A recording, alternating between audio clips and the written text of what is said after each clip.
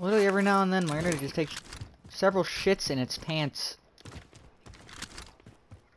Like I have packet loss right now. I'm just, oh my god, I'm fucking. What is happening?